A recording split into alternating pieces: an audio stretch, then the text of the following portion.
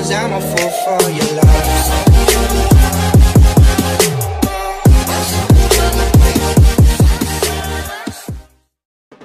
Hello guys, good morning. Ah, ako pala si RLRJ.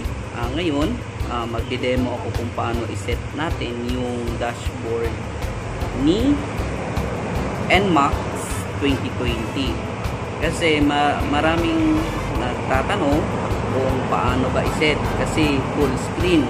Saan ba yung push button, yung select button ni NMAX 2020 sa video pong ito is tuturo ko po sa inyo kung paano mag-set ng time yung service ng change oil paano mana malaman natin yung trip to changing sa press button ni NMAX 2020 and let's go Thank you.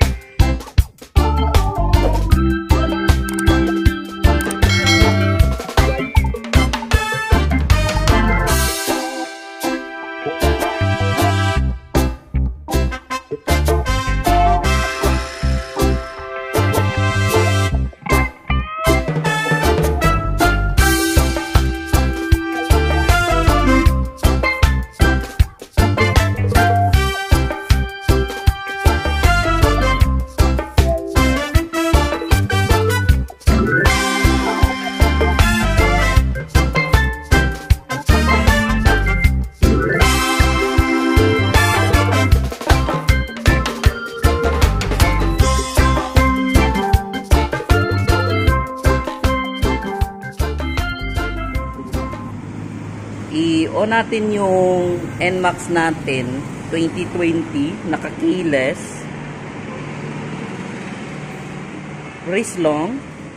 Kanina is yung blink niya is matagal. Pakita ko sa inyo yung on na blink. Short blink lang. Pag i-off natin long blink. Press natin ulit. I-on natin yung unit yun, short blink. Ibig sabihin, pwede nang panda rin.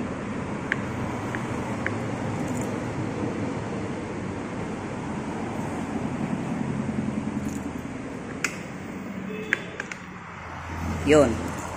Ina. Lagay ko muna dito yung remote.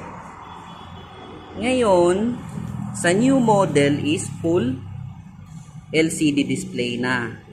Ibig sabihin, wala dito yung mode at saka yung select. Sa new model 2020, nilipat ni Yamaha sa gilid. Yan. Diyan yan nilipat. Yan yung button niya. Pa, papakita ko lang sa inyo yung pag bawat click ko dito is makikita po natin na gumagalaw si panel dashboard panel natin. Click ko one click is battery one click si oil. Mamaya pakita ko sa inyo kasi na change oil ko ito kanina i-reset ko yung service niya.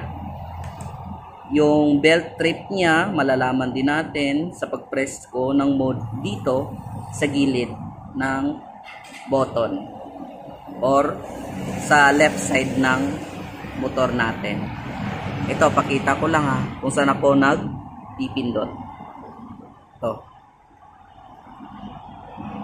Click ulit is Odo. Sa pag-set ng time ni NMAX, i-long press ko lang ito. Ito, long press ko long press, magbi-blink si hours. Set natin. Yung time ngayon is 1. Op, lumagpas. 12, 1. At saka ilong press ko ulit yung minutes naman. Yung minutes ngayon is 45. 145. Pag naset na, long press, Yun. Set na yung time ng panel ko. Kanina nag-change oil ako. Ah, ito sigurado ibubura din natin. Long press.